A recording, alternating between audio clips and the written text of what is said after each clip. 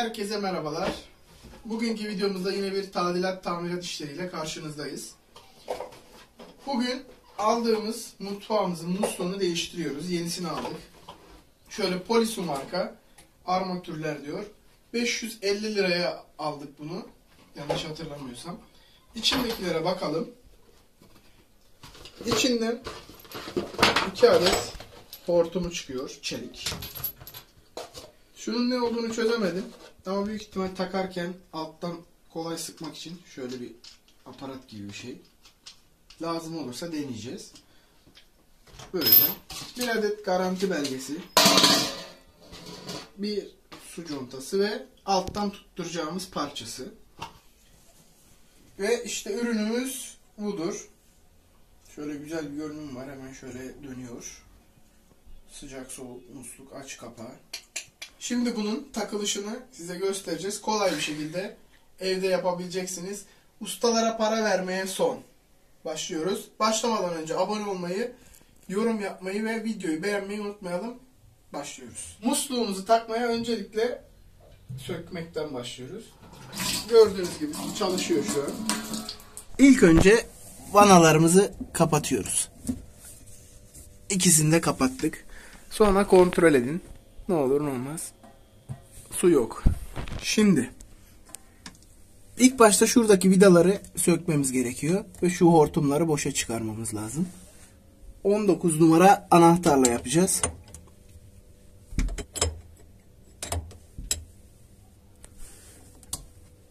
Evet, ilk musluğumuzu söktük. Altına bir havlu sermeyi unutmayın. Çünkü az bir şey su var içinde. O akabiliyor. Sıkıntı olmasın. Şimdi ikinci musluğumuzu hemen söküyoruz.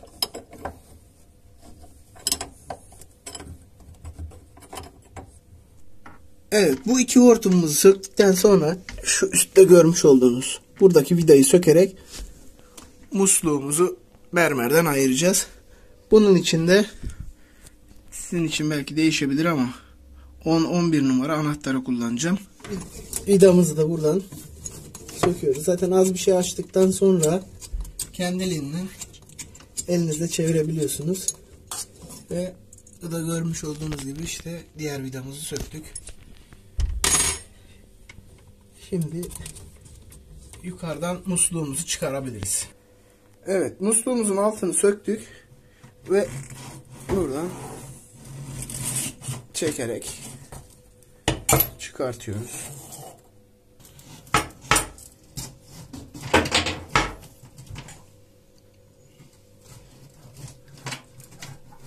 Evet.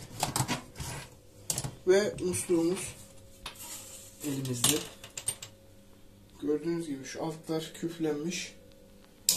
Ucu da uzun süre kullanmaktan şey tutmuyordu musluğun ucunu ve su kaçırıyordu. Söktüğümüz yeri kuruluyoruz.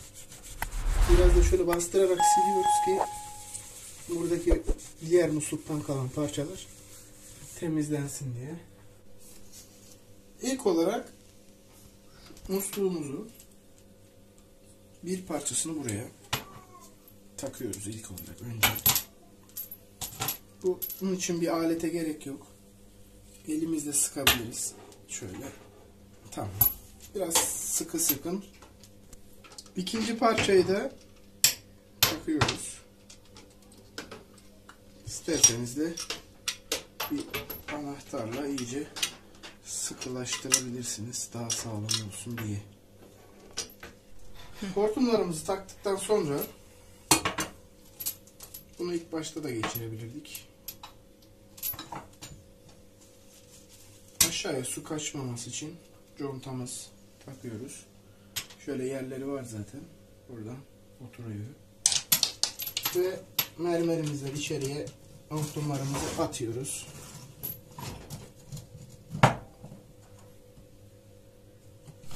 Şimdi öncelikle şu aparatımızı şöyle hortumları saracak şekilde tutuyoruz.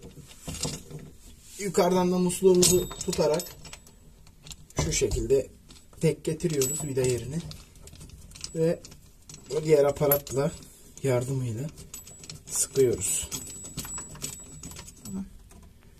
Ve iyice sıkıyoruz. E, bu burada kalıyor. Bu bunun içinmiş galiba. Biraz uzun geldi ama. Sonrasında bir vida alıp kendiniz oraya takabilirsiniz. Şu şekilde altını da göstereyim. Şöyle hortumları tutacak şekilde yaptığınız zaman sağlam oluyor. Bu parça da bu işe yarıyormuş. İlk defa gördüm. Evet aşağıdan sıktıktan sonra böyle bir sallayıp kontrol edin. Herhangi bir sıkıntı gözükmüyor. Kafada oynuyor şöyle. Tamam. Ve musluklarımızı da yerine takıyoruz. İlk önce elle hafiften bir sıkarak yerine oturtuyoruz. Sonrasında anahtarla sıkıyoruz iyice. Evet musluklarımızı sıktık. Burada da yardımcı ustamızla beraber. Evet. Tamam. Musluğumuzu açabiliriz artık. Suyumuzu verdik. Arıtmamızın musluğunu da açtık. Sıcak suyumuzu da açtık. Evet. Tornavida getirdik. Teşekkürler. Şimdi de artık sonucu görmenin vakti.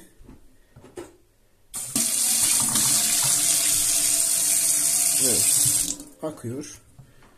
Diğer tarafı da çeviriyoruz. Akmıyor. Neden? Çünkü musluğu kapattık yanlış.